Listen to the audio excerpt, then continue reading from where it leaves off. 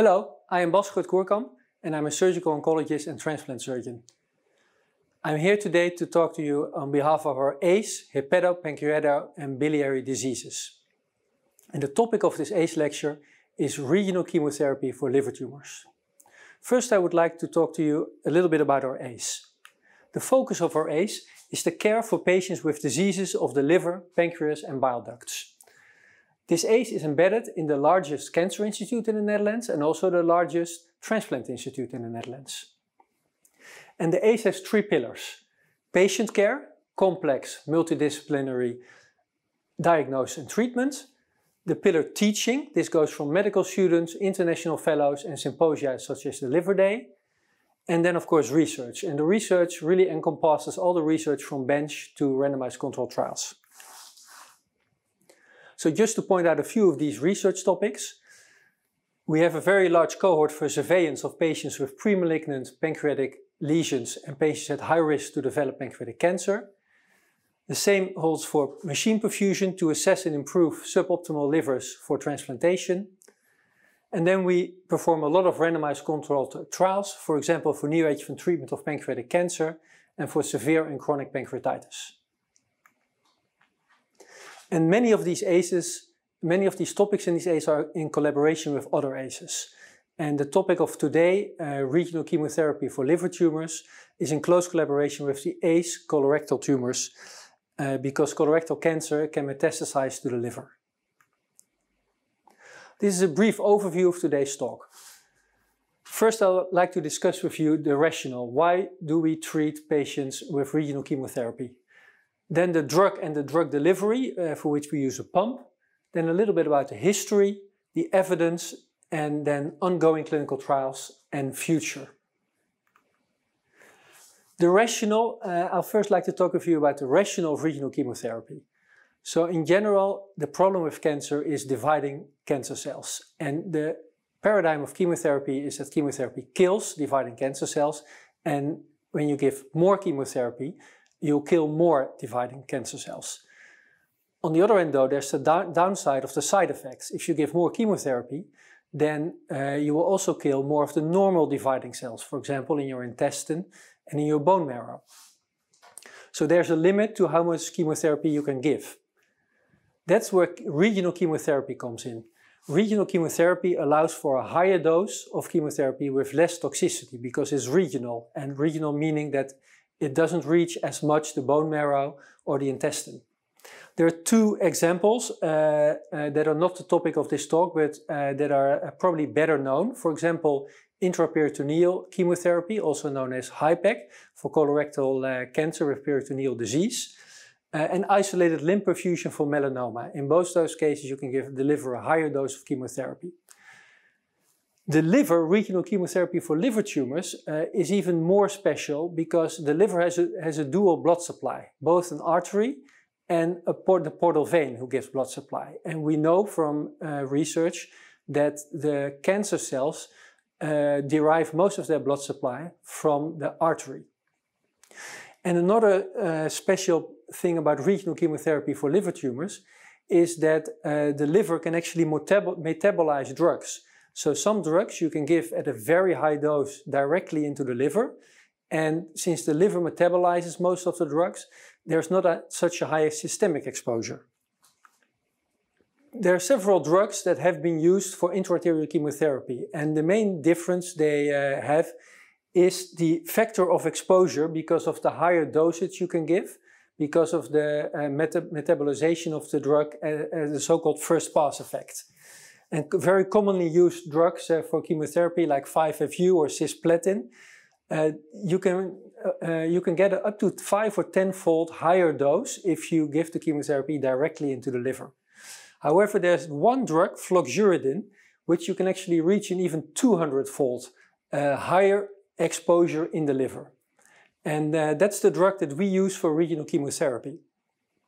There's one downside to this drug, uh, is that it has a very uh, short half-life, meaning that uh, uh, in order to deliver it, uh, a lot of the drug you have to uh, use a pump, so you can give continuous perfusion. So this is the pump that we use. they say it's about the size of a hockey puck, an ice hockey puck, and it has a reservoir of 35 cc. And the nurse can fill it percutaneously every two weeks with chemotherapy and then followed by two weeks with normal saline. Most people get six cycles. And on top of the chemotherapy, the pump also contains heparin to reduce the risk of uh, thrombosis of the artery and steroids to reduce the risk of uh, biliary sclerosis.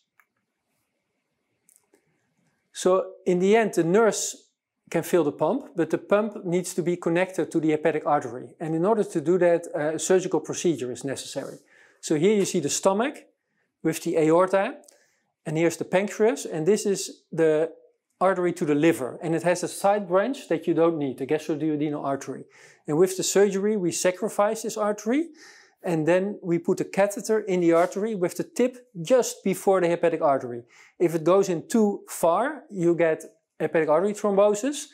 And if it's not close enough to the flow, then you can get pooling of the chemotherapy and you can get pseudoaneurysms and major hemorrhage. So it needs to be very detailed. And this is an intraoperative picture where you can see an index finger. You can see it's all relatively small.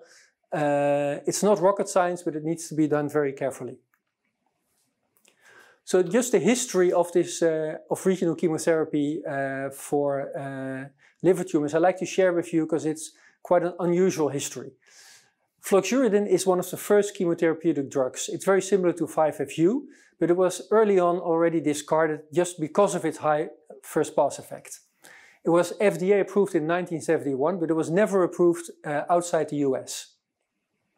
And since the 80s, uh, Memorial Sloan Kettering Cancer Center in New York has been using this treatment for patients with liver tumors.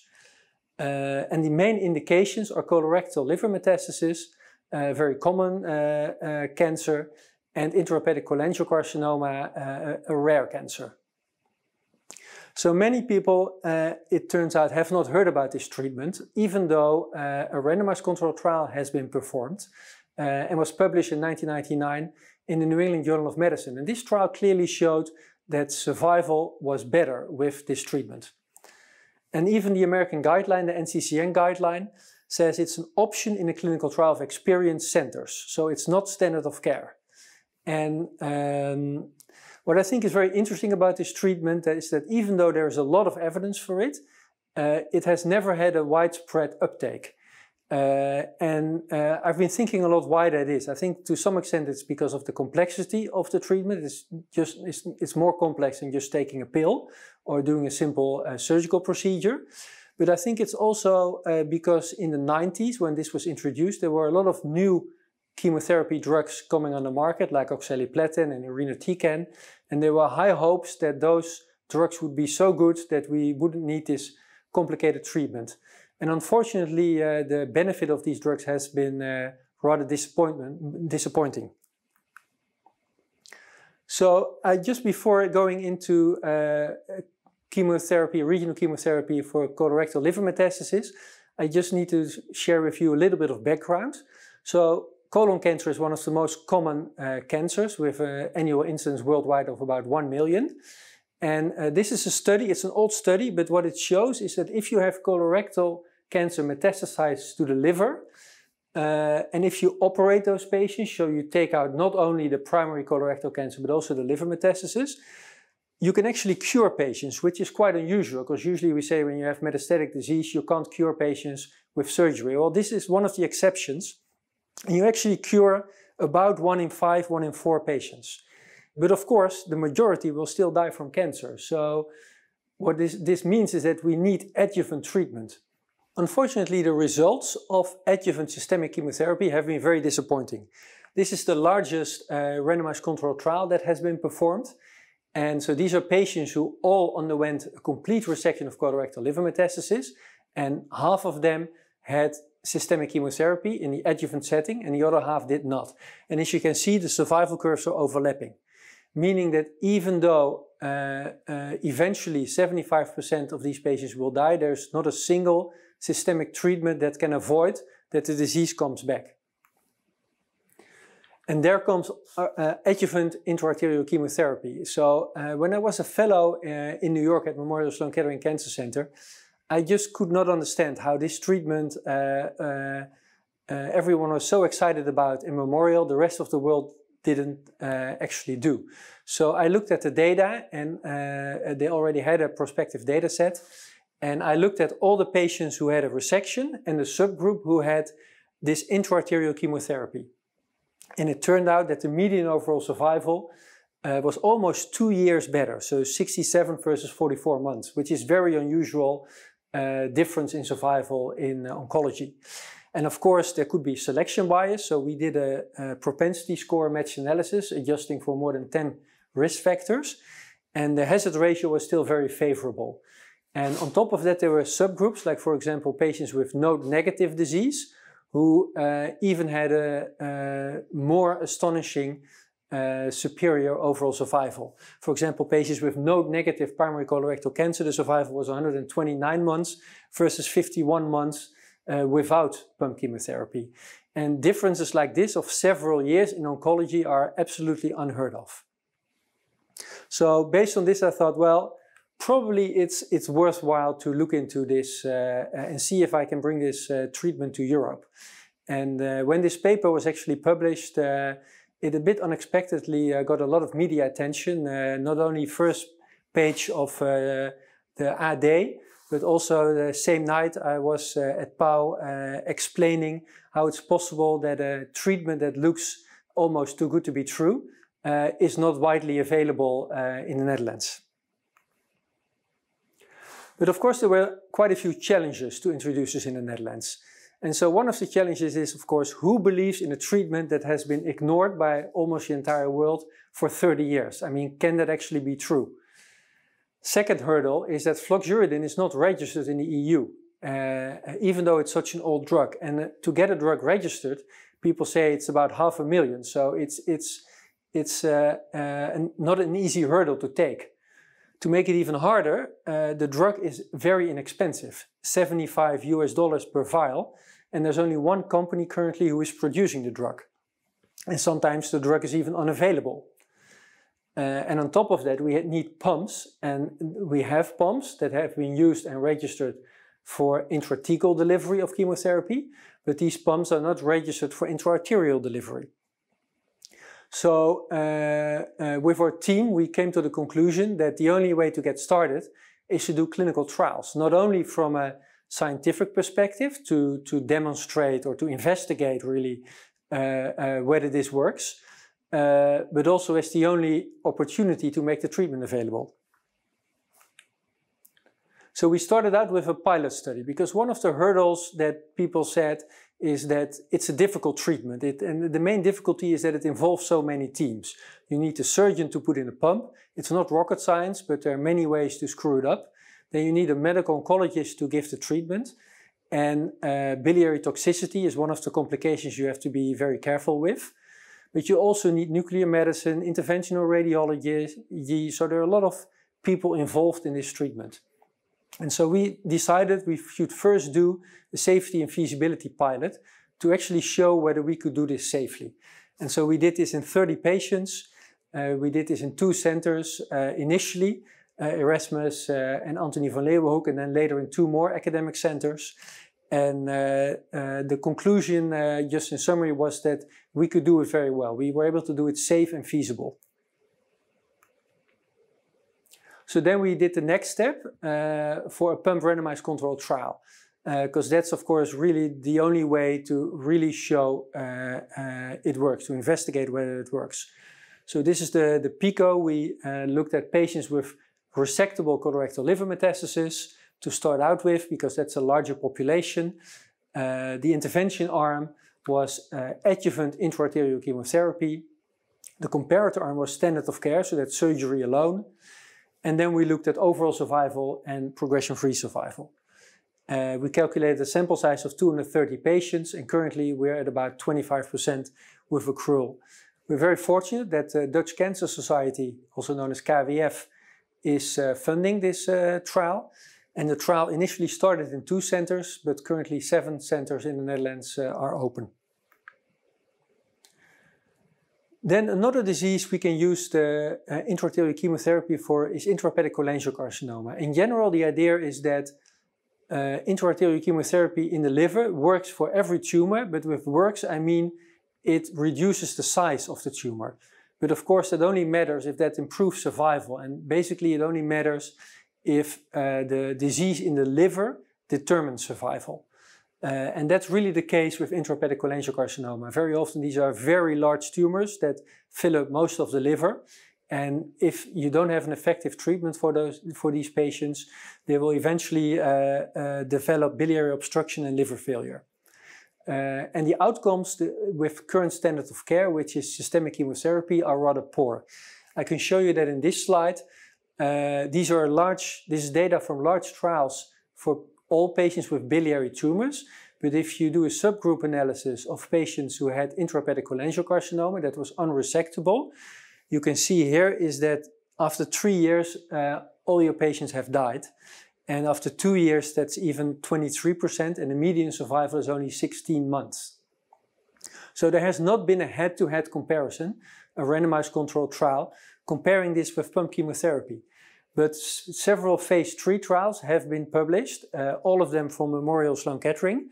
And th these were all small trials. You have to realize this is a rare disease. In the Netherlands, the incidence is only 200 a year. So they did three trials in total, 82 patients, a consistent high partial response rate, and a median overall survival consistently in these three trials of about 30 months, which is clearly superior to uh, 17 months.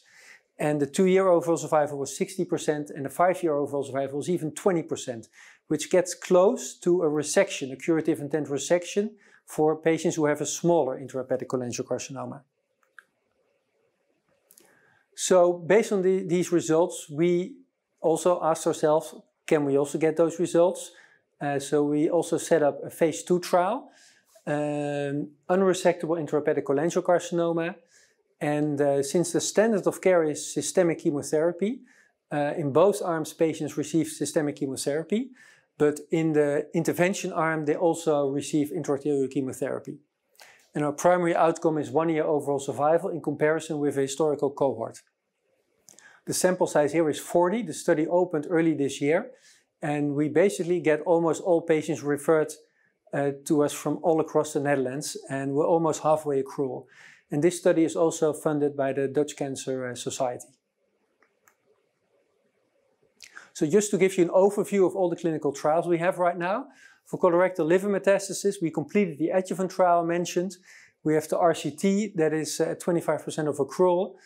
Uh, uh, we partner up with the Antonie van Leeuwenhoek ziekenhuis, who just opened a trial for unresectable colorectal liver metastasis. And my colleague uh, Dirk Grunhagen has just started a trial for recurrent colorectal liver metastasis.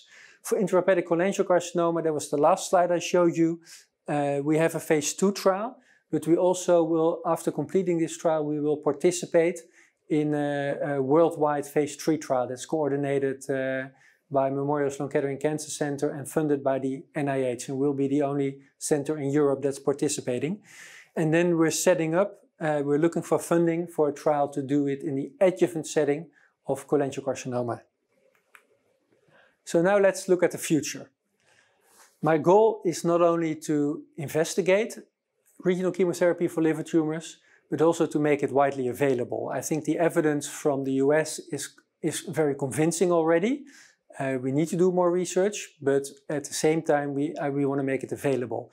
Currently, we're the only center in the EU that is offering this treatment. We're getting a lot of international patients referred to us. Uh, but the goal is to get it registered because when the drug and the treatment, the pump is registered, it will be much easier for other centers to start uh, using this. So we've set up a team with the technology transfer office. Uh, Debbie Vissers is helping us there very well uh, in combination also with pharmacy and in combination with uh, pharmaceutical industry and device industry to form a team to get floxuridine, the drug, registered in the EU. And it's quite unusual uh, uh, job for a surgeon to get a drug registered. But uh, with this team, things are going quite smoothly. And we hope to be able to obtain an orphan drug registration initially for intrahepatic cholangiocarcinoma. At the same time, we're training centers in the Netherlands to offer this treatment. And that's not only showing the surgeon the trick, but really to train the entire involved team And we've also been asked to train uh, international teams. For example, in Oslo, they're going to perform uh, an RCT for unresectable colorectal liver metastasis and they compare liver transplantation with the regional chemotherapy. And then we believe that for future research, uh, um, if we can easily place a pump, put in a catheter in the, in the side branch of the hepatic artery, we have a platform for intraarterial chemotherapy. That means that other, other chemotherapeutics can be used in the future, as well as uh, targeted treatments, but also outside oncology. There are uh, quite a few interesting uh, things that can be done with intraarterial chemotherapy. And finally, bringing this treatment of regional chemotherapy for liver tumors to the Netherlands has been a huge endeavor of a huge team. And I'd like to thank all these people involved. Even without a single one of them, uh, this would not have been possible.